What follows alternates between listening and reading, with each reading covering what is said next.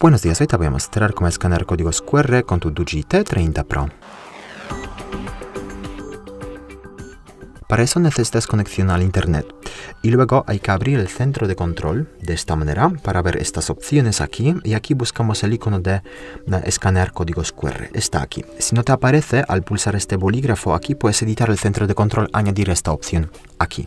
Y luego hay que simplemente pulsar aquí, así abre el escáner y ya puedes escanear códigos QR a través de la cámara de tu dispositivo sin problemas.